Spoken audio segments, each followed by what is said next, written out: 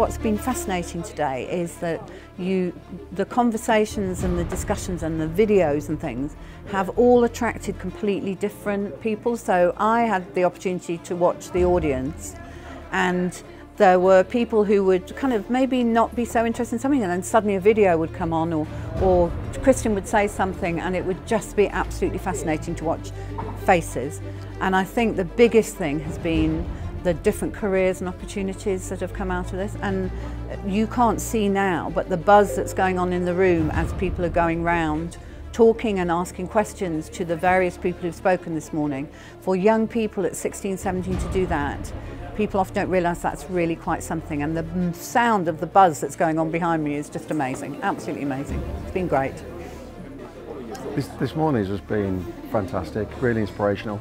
Um, the fact that we're now bringing uh, industry experts out there and actually showing that these opportunities really do exist out there. It's not just what you're studying in college, it's not just what you're learning on your course. It's actually showing there's a, there's a tangible output to it, there's, there's something there waiting at the end of it for you.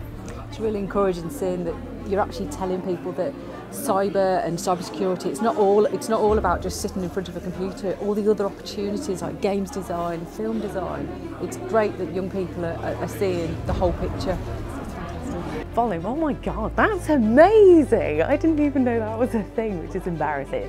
Like you can submerge yourself in whatever world it is that you're in. You know, you're not worrying about locations anymore. You know, it's instantaneous. You can be like they were on a boat and then suddenly you're in the Sahara. And, you know, using 360 technology to be able to really submerge actors in that environment, it means they can act better and, you know, it's more real to the audience.